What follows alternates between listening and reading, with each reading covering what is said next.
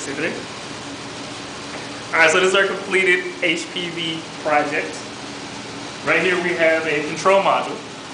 It's housing our microprocessor along with uh, a couple of our sensors.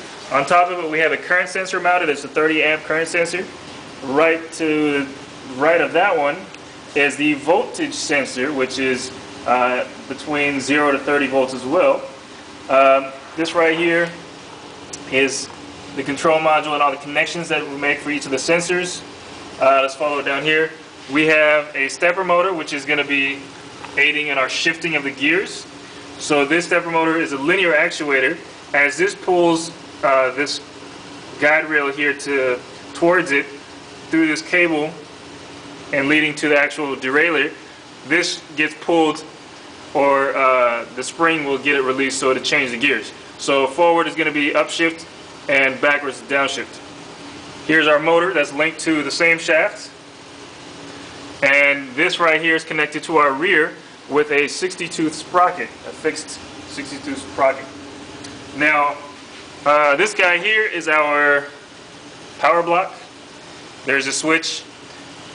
This is where you plug the charger in, and this is where the battery gets plugged in.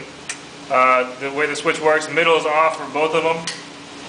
One way is charge, the other way is run. This is our LCD that displays all the pertinent information.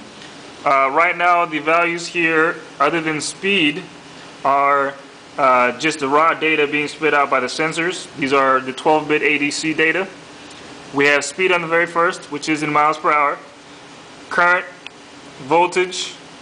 We're also uh, sensing X and Y tilt, so we can figure out uh, angles. And then we're also measuring the motor temperature, which is one on the very bottom. We also keep a track of what gear we're in. So every time it shifts, it's going to trigger here to, to tell you which gear you're in. So let's run it real quick. Here's our throttle. Uh, there's a speed sensor in the back. It's a Hall effect sensor. And every time it rotates, of course, it determines the RPM based on the lag time between each pulse. Here's our accelerometer. What, that's what we're measuring tilt.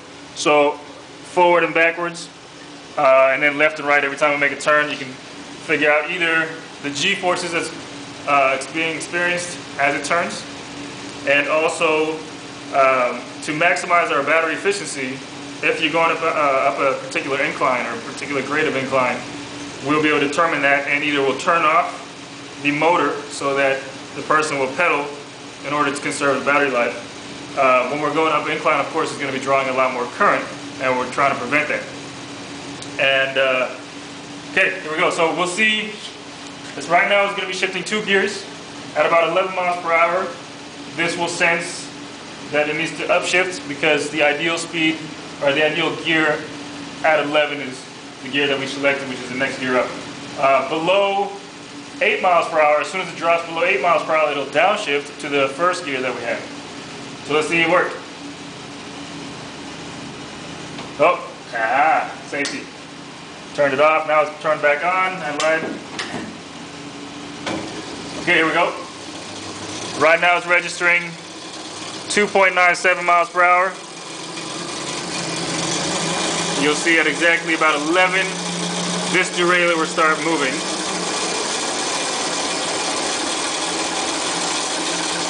And there it goes. And it's shifting. Now I'm going to drop the speed down.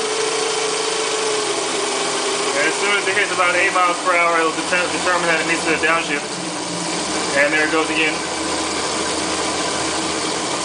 and it just downshifted. And that's it. It works. HPV, out.